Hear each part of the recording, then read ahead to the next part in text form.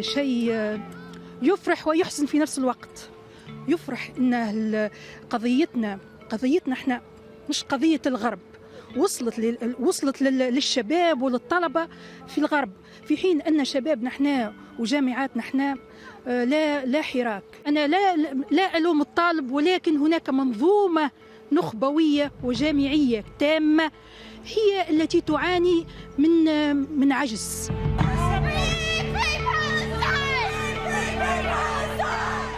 صارت تحركات عربية mais معناها صار انقطاع mais ماذا بينا إنها تكون معناها ديما موجودة والقضية مش juste معناها كما يقولوا توا تراند معناها وتتنحى لا معناها لازم تقعد ديما والقضية راهي متواصلة donc تحركاتنا واحتجاجاتنا وتفاعلاتنا لازم تقعد ديما متواصلة.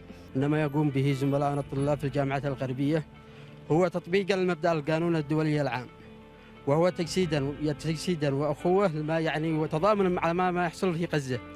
وكذلك نقول لإخواننا وزملائنا في الجامعة العربية من المعيب عليكم وكان الأجدر بكم أن تتحركوا أنتم اولا قبل الجامعة الغربية. للتضامن مع إخواننا في غزة الذين يتعرضون لإبادة جماعية بشكل يومي. أكبر مثال للشباب العربي والطلاب العرب هم طلاب جامعة الجامعات اليمنية.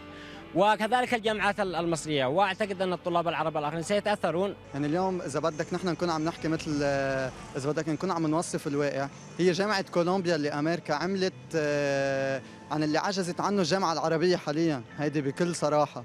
نحن اليوم كطلاب عرب لازم نكون عم نتضامن مع القضية ولازم نكون عن جد عم نتحرك بمحلات مضبوطة. في محلات نحن لازم نكون عم نروح عليها مثل مركز الأمم المتحدة مثل السفارة الأمريكية. هذا الشيء ممكن يكون عم بشكل كتير ضغط كبير. من أقوى الجامعات بأمريكا عم تتظاهر فيها الطلاب. يعني هو أولاد أولاد رؤساء أولاد نو أولاد أغنياء أثرياء أمريكا. هو هن اللي بدهم يشكلوا الجيل الجديد لأمريكا لحكام أمريكا. فهيدا يعني أنت عم بتقول هذا الجيل القادم مع القضية الفلسطينية. خصوصا بهيك جامعات أما اللي عم نشوفه من تصرفات الشرطه الأمريكية عم يمحي كل شيء اسمه ديمقراطية وحريه التعبير. يعني انفضحوا على حقيقتهم